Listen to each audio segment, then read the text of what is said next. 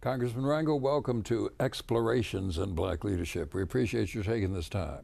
Thank you for your patience with me. No, not at all. I want to start out with some questions about Brown v. Board of Education. What did it mean to you when you first heard that the Supreme Court had made this ruling? I was not overly impressed. I am afraid that if there's a room in heaven reserved for leaders or black leaders, it would not surprise me if I wasn't on that invitational list. Mm-hmm. I had felt that Thurgood Marshall and those in the NAACP were struggling so hard against the odds that this country was so steeped in racism that when it got to the point that there was a national victory in the United States Supreme Court, I, who was still not a high school graduate, was not overly impressed with the court. And unlike so many of my Southern friends,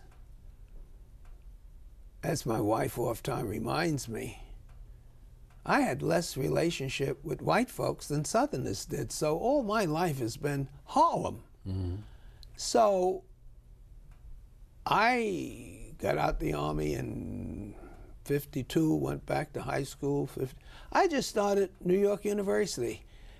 And quite frankly, I was more concerned about getting out of the hellhole I was in than being able to appreciate the historic nature of that great Supreme Court victory. So, if, if it didn't mean much to you then, what do you think it has meant as of right now? What has the effect been? That at least the court knows what is right and what is wrong.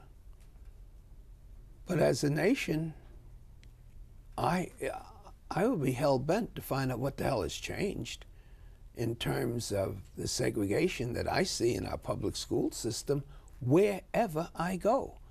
The inferiority of the education, the, the rates of high school dropouts.